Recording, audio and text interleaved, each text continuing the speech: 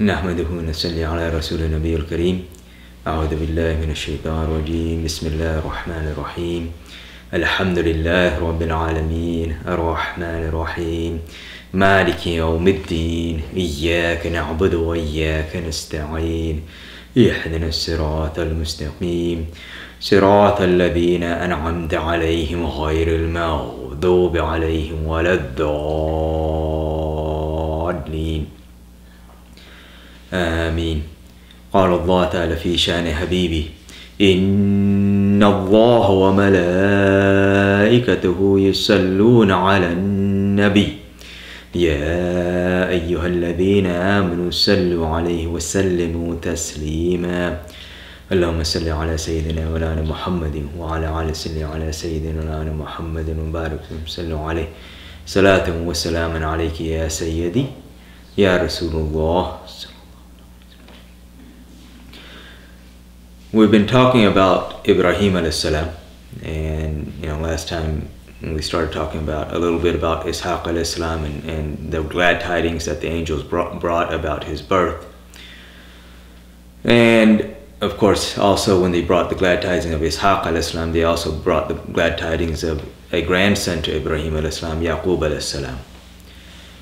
And so today inshallah we'll start talking about uh, Yusuf alayhi salam and the connection with Yaqub al-Islam. So both of these uh, narrations go hand in hand.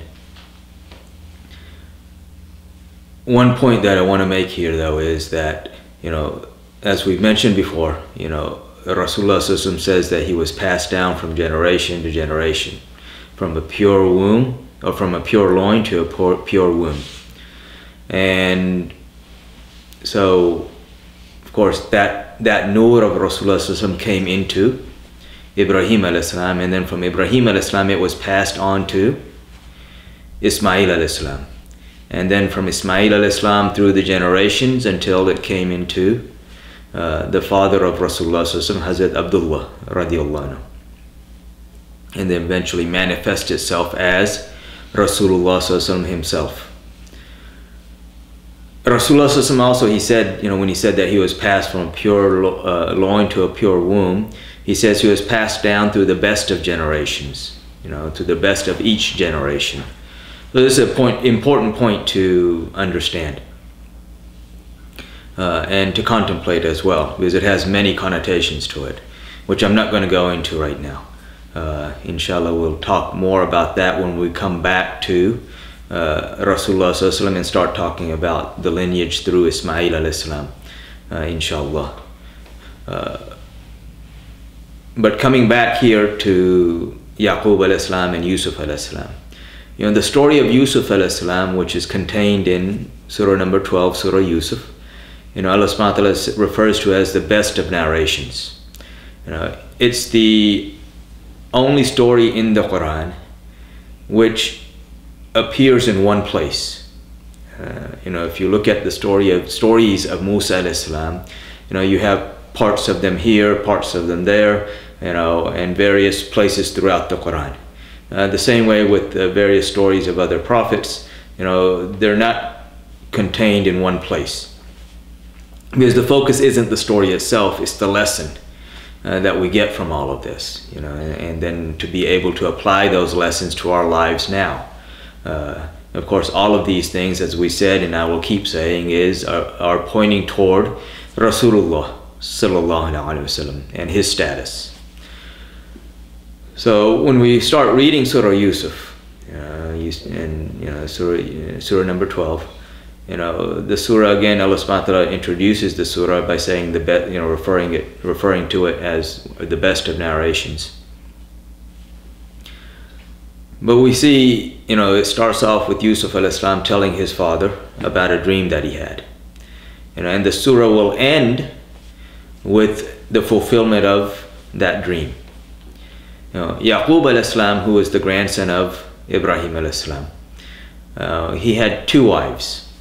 Uh, the older wife, uh, the first wife, he had 10 sons from her. And the second wife, who is the younger sister of the first wife, you know, he had two sons from her. And at this time, it was not against the Sharia or not against the law to marry two sisters at the same time. Uh, during the time, you know, during in the law of Rasulullah in the Sharia of Rasulullah that is not allowed. So Yaqub al-Islam has 10 sons from one wife, two sons from the other wife, so he has a total of 12 sons. And one of the nicknames of Yaqub al-Islam was Is- Israel, which is where we get Bani Israel from, or the children of Israel, Israel, or the children of Israel uh, in English, uh, which uh, are the progeny of these 12 sons, you know, and their and the and the clans and tribes that came from them.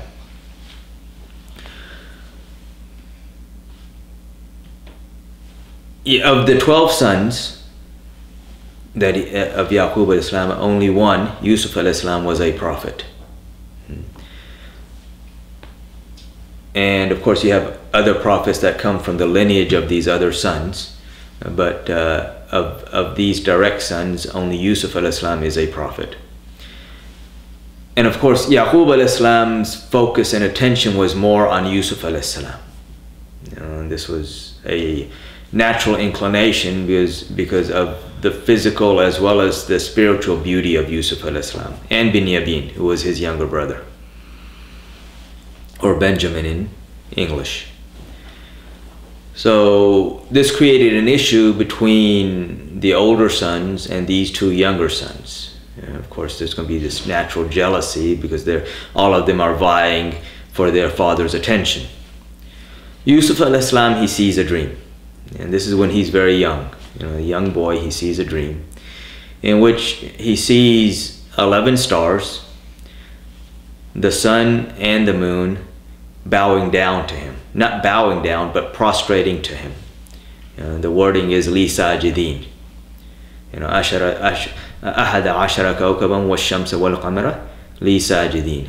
You know, the, the 11 stars, the, the, star, the sun and the moon, they prostrate themselves to Yusuf. So when he wakes up after seeing this dream, he tells his father in private. You know, he tells his father that you know I've seen this, and his father he says to him, he says that you know that do not tell this or say any mention of this in any way to your brothers. You know, otherwise they may plan something against you. Uh, they may have a plot or do something or cause some harm to you. And then when he says this, at the end he says, you know, as he's telling Yusuf al-Islam not to tell his brothers, he says that, you know, and shaitan uh, is an avowed enemy to mankind. Uh, Inna shaitan lil insani aduwwum mubin. That shaitan is an avowed enemy of mankind which is very interesting. And I'm going to come back. There are two points here that I want to make.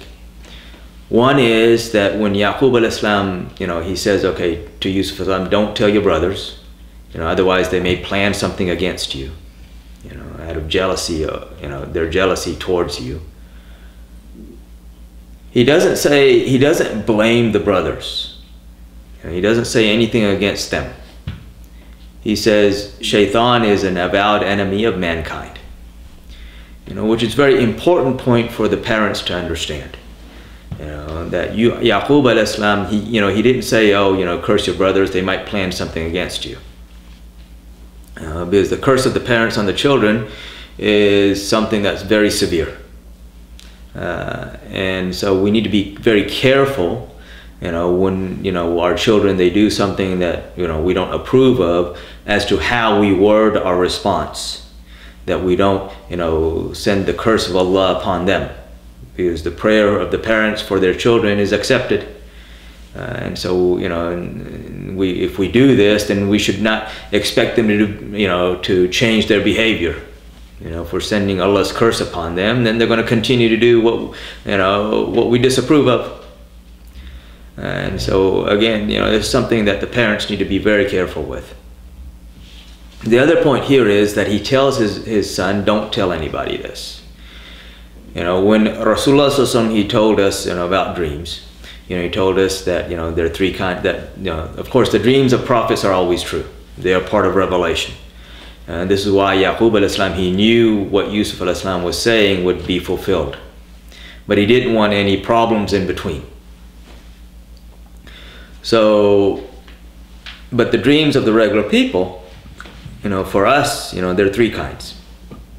Either something we're thinking about, something from shaitan, or, you know, something good from Allah subhanahu wa ta'ala. And everything from Allah subhanahu wa ta'ala is good. So, you know, if we see a bad dream, then Rasulullah told us, you know, that we turn our heads toward the left and three times spit like this and say, rajim wa min sharri hadhihi ru'ya. You know, I seek refuge from Allah uh, or with Allah from, from shaitan and the evil of what I have seen.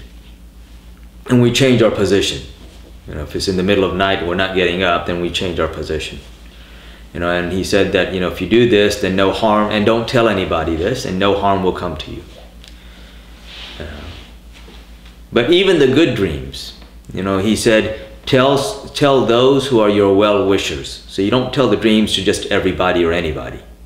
You know, it's somebody who wants good for you. Those are the people that you tell dream, the, the good dreams to. You know, otherwise, you know, there are other things that can happen. And so these are two important points to, to note just from this one part of, the, of, the, of this story. The, you know, so after this, of course, Yusuf al-Islam, he didn't tell anybody anything. Uh, but, you know, the brothers who are jealous of, of their two younger brothers, the 10 older ones, they're jealous of the two younger ones because Yaqub al-Islam's attention is focused on those two. The older ones, you know, he doesn't pay too much attention to them. So they get together one day and they say, you know, that, that our father's love is, you know, focused on Yusuf and his brother. You know, while we ourselves, you know, we're a very strong group. So he should be, you know, paying more attention to us. And they say, you know, when they're talking about this, they say uh, that adu mubin. You know, and if, if I take a literal translation for that, you'd say, you know, adu, misguided. Uh, you know, he's manifest, or he's wholly misguided, which is not what they're talking about. You know, here when they're saying adu mubin, that he's, you know, and a lot of translators will translate as manifest error. You know, it's that he's just his love is so focused on Yusuf and, and Binyamin that he's neglecting the rest of us. You know, that he's madly in love with him. And so they say, okay, you know, he's doing this, so how do we redirect his attention towards us? So one of them says, well, let's kill Yusuf. You know, get him out of the way. You know, if he's out of the way, then he's, you know, our father's going to have no other option but to start loving and looking, you know, paying more attention to us and loving us more. The eldest of them, Yehuda, he said, no, you know, let's not kill him. You know, let's take him and throw him into a well. Uh, and then that way, you know, a caravan coming by will, will, you know, they'll stop for water and they'll end up pulling him out and then they'll take him wherever they're going you know, and we'll be rid of him without killing him. Uh, and, you know, and at the same time, we've accomplished what we wanted to do.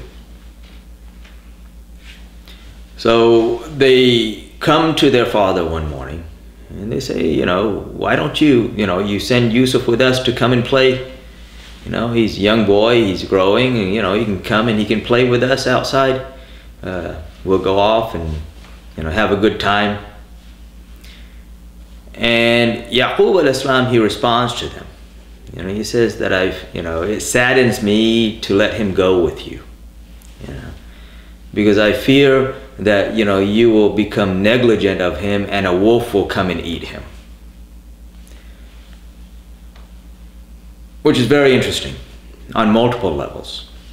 You know, it tells us that Yaqub al-Islam already knows what they're planning.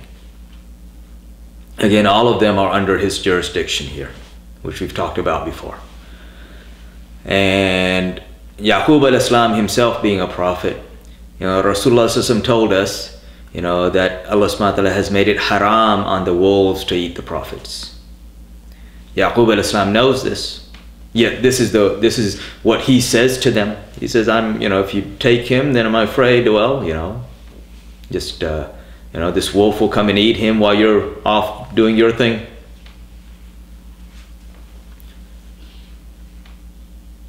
They turn around with you know how can that happen? You know we're such a strong group. You know if if if that were to happen if something were to happen to him while he's in our you know in our company then you know we are truly losers. So eventually yaqub al-islam he sends yusuf al-islam with with them. And this is an important point we're going to come back to this inshallah.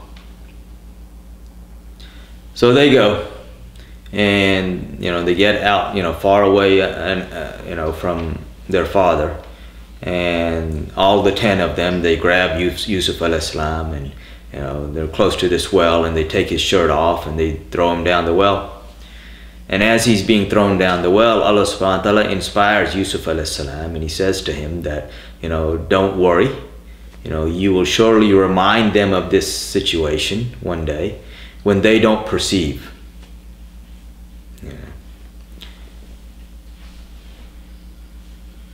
So Yusuf al-Islam is thrown down into the well.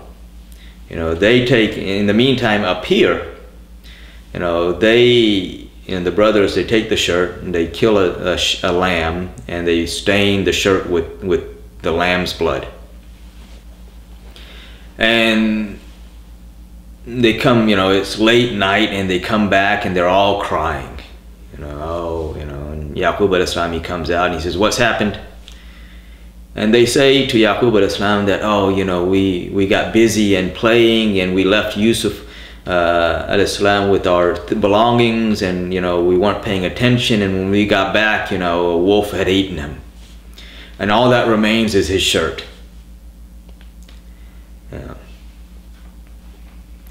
Know, Yaqub al-Islam, he says, you know, he says to them that, you know, the, you know, what you're saying I know what you're saying. Is in essence what he says. I know what you're saying to me. You know, but for me, it, it, Allah is patience. Yeah. And they said they say to their father that you won't believe us even if we're telling the truth. Yeah. And he says, you know, I know what you have done. I know what you have schemed. But for me, simply is patience. Yeah. Which again tells us Yaqub al-Islam knows what's going on and he knows the condition of Yusuf al-Islam. You know, but he also knows the will of Allah.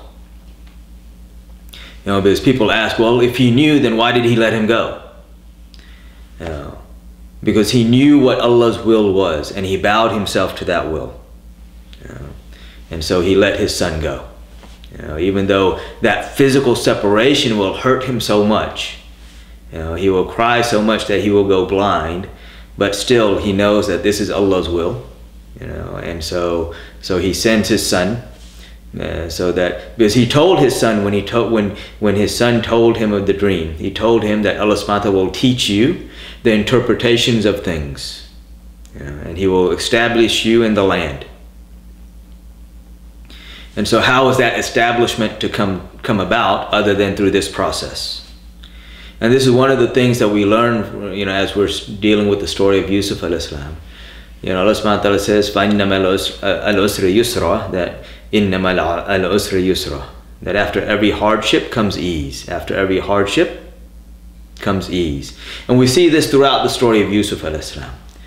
You know, and, and I'll come back to this point as well. There are many points that I'm going to kind of skip over and come back to and just kind of as we go, go on. But you know, so he tells his sons that, you know, for me is patience and that's all I can do.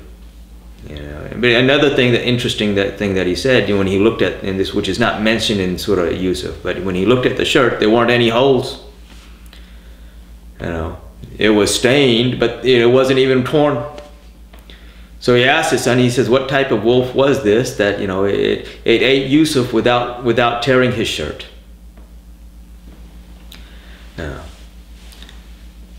now, in the meantime, when they threw Yusuf al-Islam in the well, and you know, Allah subhanahu inspired upon Yusuf al-Islam that, you know, don't worry, just, you know, be calm.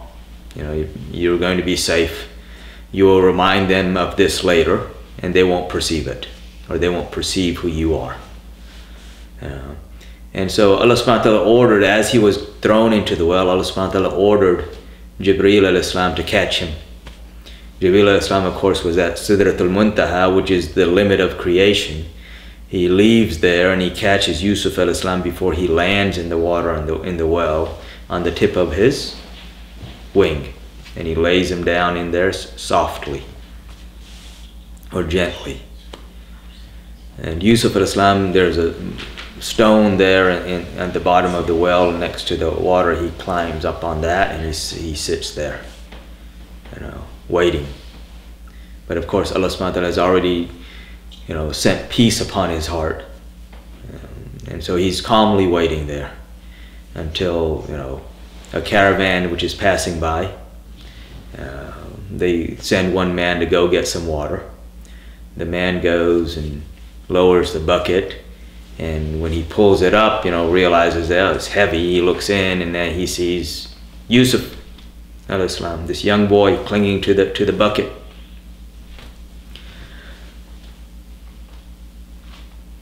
He pulls him out and he sees him and he says, wow, you know, this beautiful child. And uh, so he goes to his companion. He says, "Oh, you know, we found this. I found this child in this well." So they they figure, well, we can get some money for him.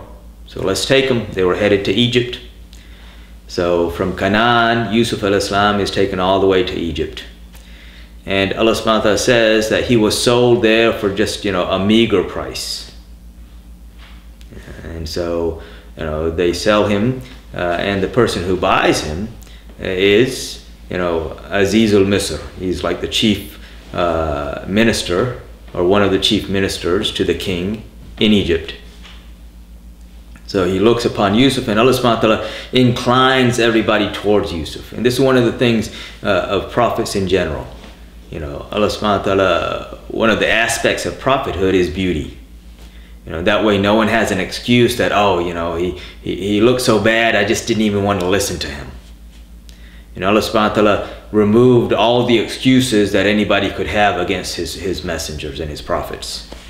You know, so of course Yusuf al-Islam's beauty, even among the prophets, is something uh, that's uh, very distinguished.